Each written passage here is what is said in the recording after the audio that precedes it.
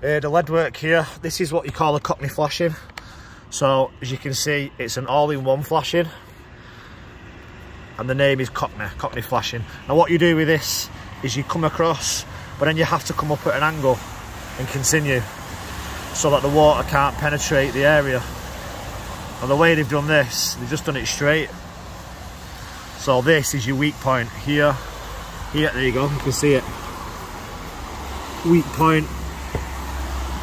See how that's coming away? You see all, all the water's coming away? It's because you're supposed to seal, seal lead with lead mate and fix it correctly. So for me, this section needs redoing. And the main section of lead, as you can see, it's popping out the wall. So we're to need new lead, new a lead flashing across the top, sunk into the wall an inch, plugged with lead plugs and sealed with lead mate.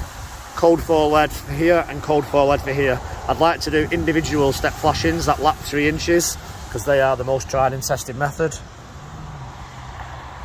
You've got a blocked up gutter and some you've got some slip slate and you've got some dodgy repairs on next door where the leads fell out which can affect you also. So this is something we can do now or sorry in the future because in terms of the pointing for example it needs to be better weather for it allowed to go off in the correct manner okay oh also here lead soak lead you're supposed to have lead fish tails underneath.